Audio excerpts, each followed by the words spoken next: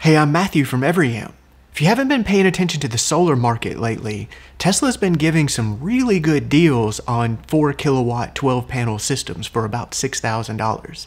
It's way less than what other companies charge, and they're probably even losing money on some of these installations that don't go perfectly. But you may have seen some headlines lately that Elon announced in a recent tweet storm that they're making some pretty big changes to Tesla Solar. They're increasing the cost by about $8,000 at least by requiring a Powerwall with every solar installation. And that's kind of going to wipe out the financial benefits of solar for a lot of people. On the surface, this kind of sounds like a money grab by Tesla to try to sell more Powerwalls, but I think there's more to it than that. They've already delayed and delayed the release of the Semi precisely because they don't have enough batteries for it. So why would they force Powerwalls on people to sell more batteries when they already have ways to sell those batteries? It just doesn't add up. Raising solar prices is also counter to their stated mission of accelerating the world's transition to sustainable energy. So why would they do this? I'm a current Tesla solar and Powerwall owner. I'm a professional electrical engineer and I've worked for two electric utilities, so I know a bit about this world. I also consulted with my friend Yvonne, who works in the solar business. So if you guys have a lot of questions about this, she and I could come back for a follow-up video to try to answer those questions. So overall, I've been thinking a lot about this, and I think I know why they're doing it, even if it may be a little premature. But if Tesla is anything, it's forward thinking, so maybe they know what they're doing. So bear with me, this is a complicated subject. I'm going to try to distill it down and I'm going to make some generalizations. And of course, there will be exceptions to those that I'm sure you guys will love to point out in the comments. A lot of this varies by location and utility also, so I'm primarily going to talk about the way things are in California. Your area may vary. So here's Elon's tweet where I've seen a lot of focus on the first part about forcing Powerwalls on customers, but not so much on the second part where he says solar will feed exclusively to Powerwall. And I think that's really the key to understanding what's going on here. The way things work currently is that we have three modes we can select for solar and Powerwall with backup only, solar self-consumption, and advanced time of use. In all three of these modes, the solar charges the Powerwall first and then anything you don't use in the house goes back out onto the grid. What Elon's saying in this tweet is that solar will no longer export back onto the grid in any of these modes if you have Tesla Solar. And this is a big change from the way solar has worked. Like Elon said, this will simplify installation when you don't have to get approval from the utility to do it. But these systems are going to be in place for 25 or more years, and that's just a one-time upfront thing, so there has to be more to it than that. So think about what happens when we export power onto the grid. The grid isn't a big battery that you can just push energy to and then you can take it back out of it at night. It's a balancing act. You have producers and you have consumers, and they have to be in balance all the time, or else you lose stability of the grid. Frequency can go up or frequency can go down and you can have blackouts. So when we export solar, it causes the grid frequency to increase very slightly. But somewhere on the other end of the grid, there's a producer that sees that slight increase and they lower output to bring it back into balance. But you don't have to take my word for that. In California, we actually have a website you can go to and you can see that. It's at caiso.com. So let's take a look. So here's what's going on with the California grid right now. Renewables are currently serving 87% of the load, and when I checked it earlier today, it was 90%. If we look a little closer here, can see our demand curve, can see the net demand, so this is demand minus what's coming in from renewables. And then we can go over here to supply, so we have 16,000 megawatts of renewables and almost 10,000 of that is coming from solar. And we can see this trend that's going on. You can see where as solar ramped up, we had the natural gas here in orange ramp down. We have imports ramping down to compensate. Have hydro that's kind of ramping up and down. We have nuclear that's just holding steady. We have a minuscule amount of coal. And then we have batteries. And look at the difference between this battery graph and the solar graph here. It is a huge discrepancy. At most, batteries charging is minus 223, We have some minus 253, where solar at the same time is up in this 10,000 range. I mean, it's an order of magnitude difference between how much battery we have and how much solar we have on the grid. If we look right here, starting at about 930, our import line even went negative. So it's trending down, trending down till almost 3,000. So that means California is a net exporter of energy during this time, which, yay, California, right? We have all these renewables coming in, we're sending them to other utilities. Well, that's not necessarily the case. At best, we're buying this electricity from solar producers at the retail rate, and we're selling it on the market at the wholesale rate. So we're losing money on that electricity as a whole. But in some conditions, we actually even have to pay utilities to take that. It just depends on what the market rate at the, is at that time and whether or not they need that energy. Another thing that ends up happening during these times, so the grid, they've already put all the generators at minimum levels. They're exporting whatever energy they can, but they still have more than they can use. So they end up having to curtail solar and wind. If we scroll down, we can see those reports. Wind and solar curtailment report. So come in here to May, and we only have yesterday, but you can see for yourself when we get into these situations, they're even turning solar and wind off.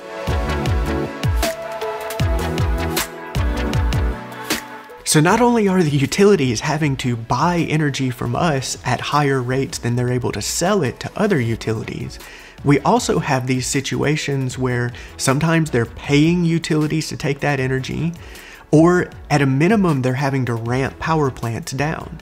So think about what happens when you do that. That power plant had construction cost, it has ongoing maintenance cost, it has employee cost, and fuel cost.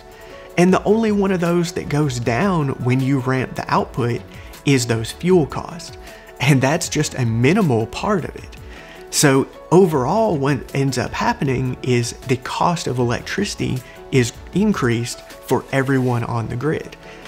Not that we don't want to do this. Of course, we want to switch over to renewable energy, but it does cost more to do that, and this is why.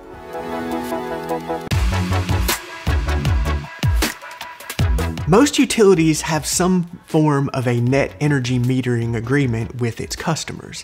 That sometimes you see it as NEM, NEM 1, NEM 2. We're currently heading into the successor to NEM 2 in California right now.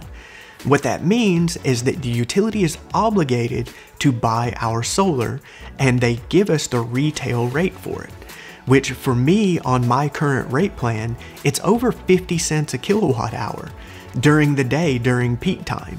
So they're buying it from me at 50 cents a kilowatt hour. And then they're, in this case, having to ramp plants down and try to export it for a much lower rate than that in a lot of cases. This retail rate offset has been a huge reason why solar has been successful in California. And it's what makes it such a good financial investment for a lot of people. I mean, you can see people who get solar, especially at some of these prices that Tesla is currently charging, and the payback on it is like five years. And then you have another 20 years plus after that of free electricity you don't have to pay for. It has been an awesome situation for quite a long time in California. So changing this would change those financials for a lot of people, and that gets people really concerned. So take a look at my current setup, for example. My rate plan has the highest rates between 2 and 9 p.m. in the summer on weekdays. So I have my Powerwall configured so that it charges in the morning and at 2 p.m., it takes over operating the house. That means every bit of solar that I make from 2 to 9 p.m. goes right back out on the grid. So, this big peak that we're seeing in solar and that big dip in energy production, that's me. I am contributing to that 100%. And then in the evenings and at night, whenever my rates go back down, that's when I use energy. So I charge my cars, I operate my 3D printer factory, all at low nighttime rates. So that big peak that we have at night, that's also me. So knowing that this is bad for the grid, why would I do that? Well, it's because I'm financially incentivized to do that right now. That's the game that we're playing, that's the rules that were set. So we just play the game under the current rules.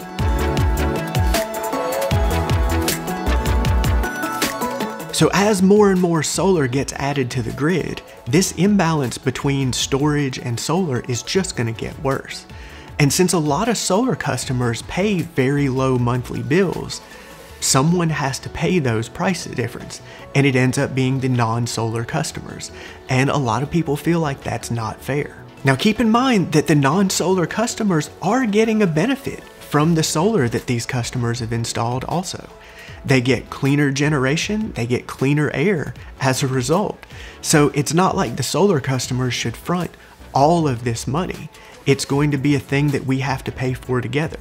It's really just a question of what is the fair way to do that. But I think we can all agree that there is a technical problem here in this imbalance that needs to be solved, and the utilities have a few levers that they can pull to go about that. The first that we've already seen to some extent is shifting the hours that they pay time of use rates. So in the current situation, they're paying higher rates when solar is still producing. They can shift those hours later and later until they end up being at night. We can be completely reversed from where we are now. The lowest rates will be during the day when solar's out, the highest rates will be at night when it's not. For me personally, with a Powerwall, I can just shift my schedule. I can use as much energy during the day as I can, store as much as I can, and then not use it at night and run the house off of the power wall. But for customers without storage and with solar only, that's going to completely upend the financial benefits of their system. This is a system that they installed years ago under different rules, and now they're changing on them, and that's not really fair. Another lever the utilities could pull is the way that they bill us for energy. We currently get billed by the kilowatt hour, which kind of makes intuitive sense. You use more energy, you pay more energy.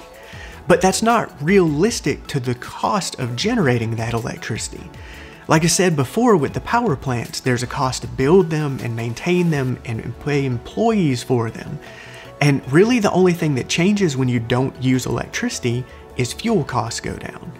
So if they change our bills to be more representative of that, it would be like a third is the cost of transmitting the energy, a third of it is generating it, and then a third of it is the actual cost for fuel. So if you used no electricity, you would still pay two thirds of your normal bill, or at least the average bill for everybody. So that doesn't really work well either. Another thing that's being proposed right now is minimum monthly bills just for solar owners. That could be anywhere from 50 to $100 a month that every solar owner just has to pay. And that in a lot of cases is as much or more than their bill was before they got solar. So now they're buying a solar system and they're still paying the same amount of money. Doesn't really seem fair either. There's actually an assembly bill right now in California, AB 1139, that's trying to do all of these things. And as it's written, it's probably not going to pass. But these kind of things are coming. This is a real problem that we're going to have to figure out how to solve. And we have to do it in a way that works for everyone.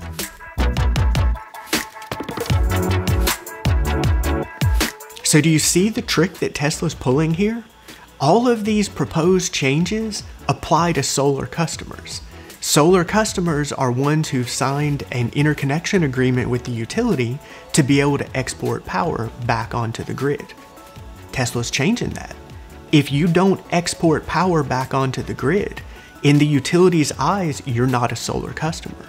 You're just a customer who happens to have a little power plant in his house, and that power plant keeps everything self contained, and you use less energy from the grid. So these changes no longer apply. So Tesla's looking at these changes that are being proposed, especially those minimum monthly bills, and they say, you know what? We don't have to do that if we're not a solar customer. So there you go. Don't export.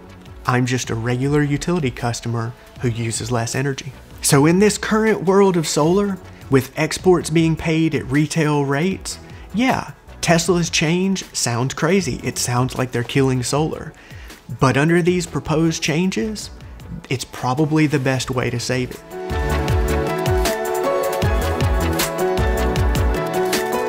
So clearly, we have a problem. We have way less energy storage than solar on the grid.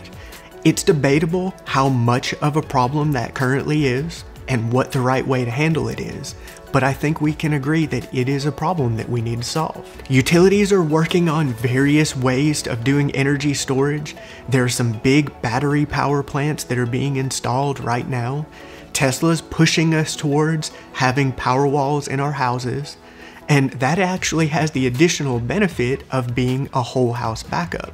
And people in California who've been through recent wildfires, and people in Texas who went through the blizzard, they can tell you how much value that can add to an installation. So personally, I'd rather have the Powerwall in my garage rather than use the utilities somewhere out there on the grid. But like I said, these changes aren't in place yet, so maybe Tesla's change is a little bit premature, but I think at this point those changes are inevitable, and it's probably our best choice moving forward. I really hope we can ultimately reach a compromise where, say, people who currently have solar are grandfathered into these existing plans. That way, it respects the investment that they made earlier and gets them that payback that they expected when they made that choice to do it. But for people moving forward, storage is probably going to be a required part of the equation. I'd like to see the situation where we're given a choice. You can install solar with energy storage, or you're given a choice to rent energy storage from the utility. That may be something local to your house that you rent, or it could be, you know, utility scale storage that you are paying your contribution to use as part of your solar installation. I don't know what that cost would be, but I would hope that it would be something that would equally share that cost with the people who have solar, who are benefiting from it, and the people who don't have solar, who are benefiting from it. Changing from a fossil fuel dinosaur burning grid to a renewable energy grid is going to cost more for all of the customers. And I hope we can find a way to do that that is fair for everyone. So that's it.